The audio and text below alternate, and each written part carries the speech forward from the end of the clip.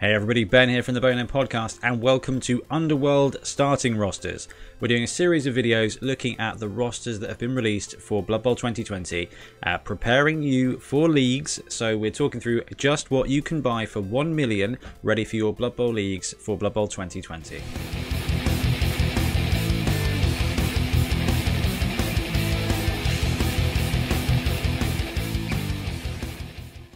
And Underworld are a very cool team. So they've been through some emotional turmoil. I'm not going to lie, we've seen it. We saw a load of rage about it. So if you haven't played Underworld for six months, um, a lot has changed. A lot changed in Blood Bowl 16. They got the Gutter Runner added.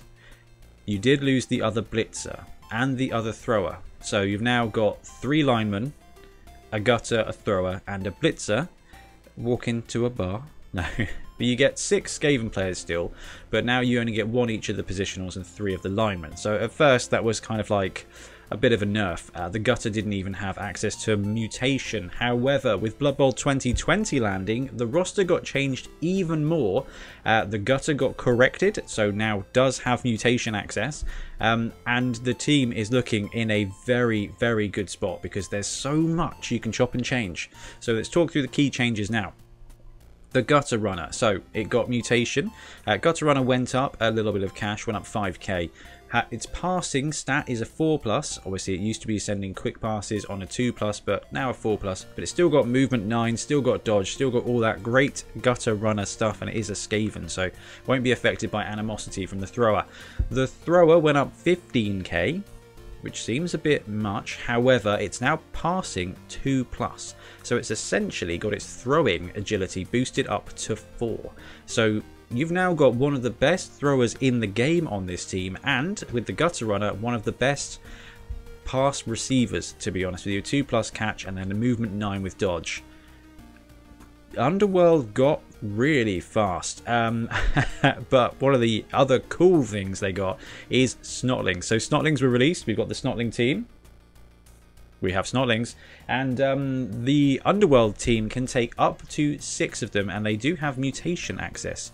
Uh, on general, so their primary skills are agility, mutation. So you are going to end up with all kinds of ridiculous mutant snotlings. And they still have the swarming rule. So that is something that is worth considering when building Underworld rosters. They don't have the cheap line rule, so you do have to pay the TV, all, uh, all 15,000 of it, so barely anything at all. Using swarming though, you can get an extra D3 players, a D3 snotlings, onto the pitch at the start of every drive. So having those snotlings, so you can you can get three snotlings for 45k or one goblin for 40. Dropping one goblin, boosting up the amount of snotlings you've got, means you're going to be able to gum up tackle zones with albeit tiny worthless players, but it's just going to be able to pile on, spread your defense, and if you want to go for those fouls, you've got the opportunity. And and because they got even more, hence all the hearts on the screen here, they can take a Rat Ogre instead of a Troll. So we're going to look at a build for a Troll, a build for a Rat Ogre, and because this team is overall quite cheap, we've got a couple of interesting um, inducement-based builds for you as well. First up, we've got the classic troll build. I say classic, however, this roster does have snotlings, um, but all other reasons, in all other ways, it kind of compares to the underworld roster of old. So you've got four goblins, three snotlings. That can be five goblins if you're not a fan of snotlings instead. But our list here, four goblins, three snotlings, three line rats, one blitzer, one gutter, one thrower, and the troll. So that's four, five, six, seven, eight, nine, ten, fourteen players. Three of them are snotlings. So you're going to suffer in the long game, but this team comes with three rerolls and you start out with an apothecary. Now the reason I think the apothecary is so important for this roster is one blitzer, one thrower, one gutter, um, you have no spares. They die, you have to pay for them. So you want them to stay alive as long as possible to get those level ups, to get the SPP, and to simply just stay on the pitch. Because if you end up having a blitzer or a thrower um, taken out early on, you're going to struggle. So it, when the, the BB16 roster was rebuilt, I played against Ben. He was running the old roster. I was running the Gutter World roster, and my Gutter just got taken out in the first few turns. Actually had a Goblin thrown at it, which was quite entertaining. But that was it. The Gutter was out, and I lost. I lost quite a lot of my team. So having that Apothecary to keep those players alive, even if it's not for that one game, even if it's for the rest of the season, is really going to benefit you, especially financially. Having the three Snotlings, so taking your 12th, 13th, 14th player build, means you can take advantage of swarming, probably for one, maybe two drives, depending on how much your team gets murdered. Um, but as you go on, you're going to get the cash. You start out with everything good here. You've got all your positionals, you've got the big guy, you've got three rerolls. Every bit of cash you get after this will be spent increasing your numbers by getting more snotlings, maybe a goblin, and eventually building up to the fourth reroll if you want it. Bear in mind, this team is at 14 players already, so you can only get two more players. I would probably take one more Goblin and one more Snotling at the most, because swarming is, is going to be useful for you. Even if it's just one extra Snotling on the pitch, you've got 12 players, they've got 11. That Snotling gets a cheeky foul. And then there's the Rat Ogre build. So, the Rat Ogre is significantly more expensive than the Troll. 35k, something like that. And in this roster, that's quite a few players. So the Rat Ogre has a bit of a shuffle around in what you can take. Three Goblins, four Snotlings. So we've done a little bit of swip, swapperoo there to save the money to upgrade the Troll to the Rat Ogre. You've still got all the rats, all three line rats, and the three positionals. You've still got the Apothecary, and you've still got those three rerolls that you're going to need to be able to perform as a team. The Apothecary stays the same. The reason we've got that there is to keep those other players alive.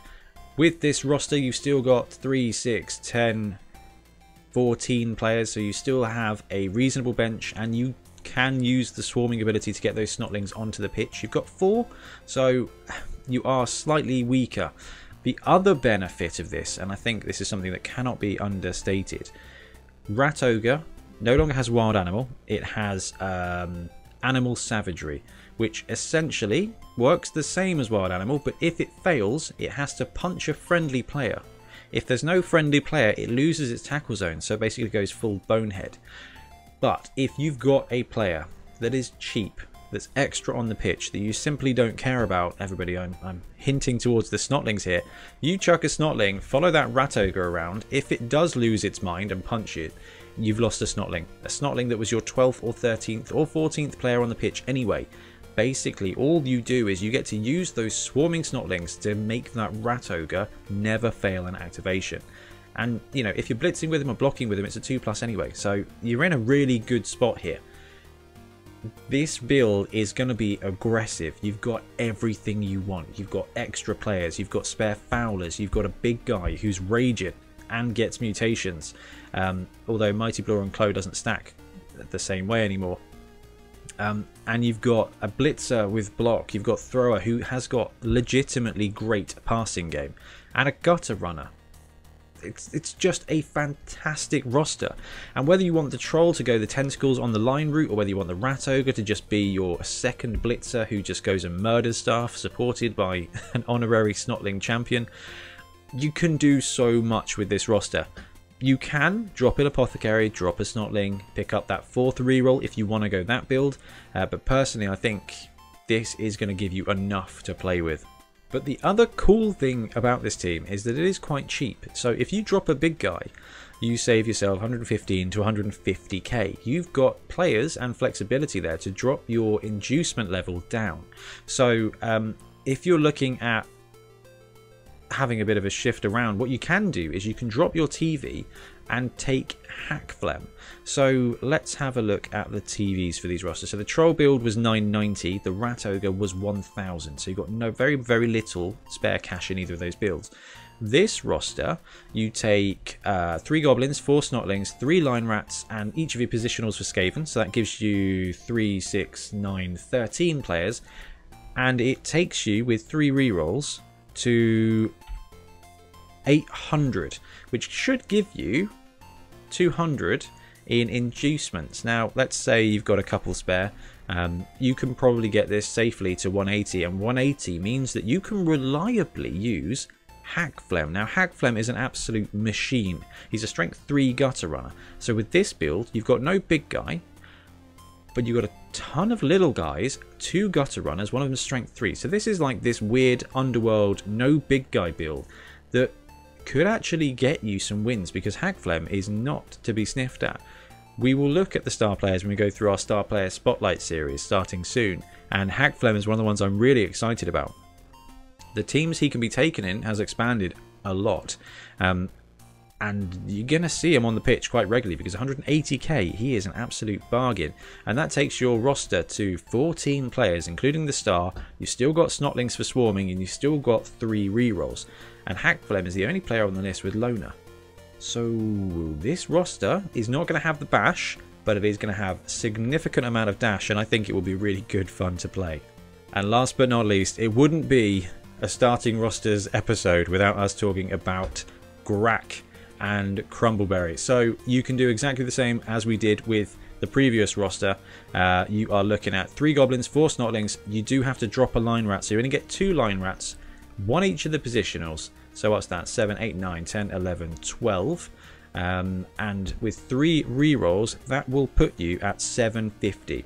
That gives you 250k to play with which just happens to be the amount of Grak and Crumbleberry. So if you take Grak and Crumbleberry, uh, it will pop you to 14 players. It will pop you to a straight million. So you might struggle with this if they are under um, rostered. But by game two, by game three, if you've not over invested in extra players, you can you can take this build at a 1 million point. Um, and yeah, having Grak is going to be great. He's bonehead, sure, and he's loner 4 plus, but your big guys are kind of like that anyway. In fact, it's almost a bit of an upgrade. And he comes with a free Strength 2 Stunty player in Crumble Buns. And uh, 14 players, it's great. He's got Kick Teammate, which is slightly worse than Throw Teammate. But you've got an Ogre instead. And eventually with this roster, you're kind of going to max out your players. If you max out at a 14, without purchasing additional rerolls, your team is kind of there's a kind of a salary cap, so you are going to be able to have the troll and Grak probably um, at a reasonable TV amount, and you should have a lot of fun with that. With two blitzing big guys or just two throwing, kicking big guys, the Grak build is definitely worth considering. My favourite is the Rat Ogre build all day long, and yes, I know that's because I hate trolls. I don't really hate trolls, I just think the Rat Ogre is better. This is not your Underworld team of old. This is an aggressive, speedy, can actually do stuff Underworld team. You've got numbers, you've got speed, you've got agility, and you've got punch. And you don't have to sacrifice on rerolls or apothecaries. Not only is this team a fantastic modelling challenge because you've got bits from three different teams, you've got two big guys to choose from. Um, I think this is going to be a solid tier 2 team that's going to win games. And I love the idea of this mix mash team delivering significantly, and I think it's going to. Anyway, let's wrap it up for Underworld starting rosters for now. Thank you very much for joining me. Drop some comments below uh, whether you like the rosters, whether you've got different rosters, and uh, what other team you would like to see next. But so many people clawed for Underworld, uh, just had to move it to the top of the list. Anyway, thanks very much for watching, and I will see you again soon.